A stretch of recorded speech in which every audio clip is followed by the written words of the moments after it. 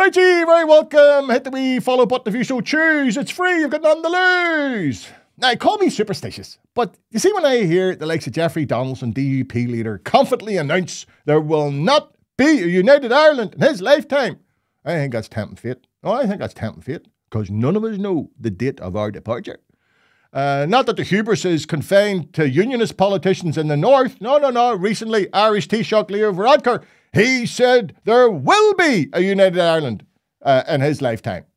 Now, he'll be proved right. Will be something I'll be watching intently. You know I don't like gambling, but I'll tell you, I am tempted. I am tempted to take a punt on the outcome of this one. Like, just, just imagine Jeffrey's embarrassment, right? If, if he finds himself still sucking air as a tricolour is being raised over Stormont. Ooh, I wonder if his sense of scunderment would be such uh, and to force him commit hara-kiri, yeah, just to prove himself right. Uh, and will Leo go all the way? I wouldn't trust him, you know. I, I think that we he would have himself cryogenically frozen just to ensure he's proved right.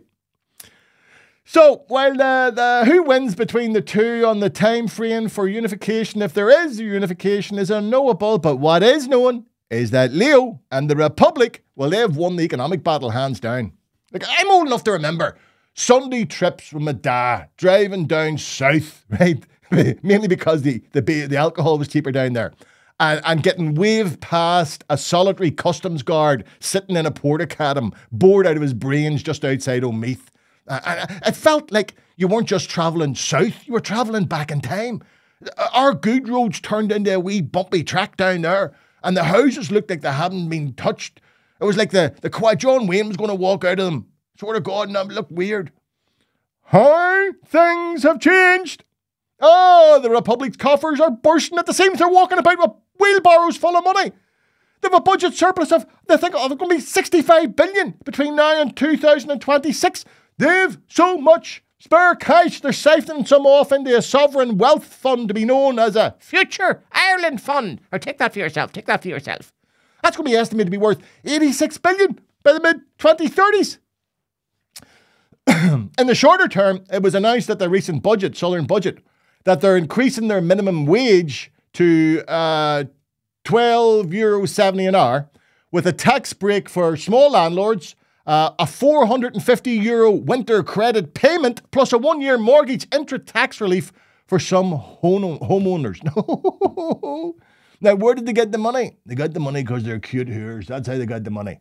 That's how they got the money. They dipped their, their corporation tax down to 12.5%, which meant all the big US multinationals stormed into Dublin. They're all there. Google, they're all there. Oh, made a fortune. Now, the days of milk and honey are coming to an end as a Republic had an embarrassment. They were embarrassed into signing up to uh, a deal by the Organisation for Cooperation and Development, Economic Development, uh, who want to set a global minimum corporation tax of 15%. But it doesn't matter. They've got the dough, don't you know? Their abundance stands in stark contrast to our financial predicament as we up north face into a 700 million budget deficit, leading to cuts in infrastructure, education, social welfare, and our health service, to count just a few. Uh, the English overlord, Chris Heaton-Harris, well, he seems content to let the lights go out here, both figuratively and literally. You know, they're going to turn the street lights off in a couple of weeks. Oh, uh, uh, all in his attempt to pressurize the DUP back into the assembly. Uh, not going to happen. You know it's not going to happen. That's not going to happen. So, as always, the victims will be the poorest within our society. Because, as you know, the poor always pay when the powerful and wealthy decide to play. Always. That's all, folks.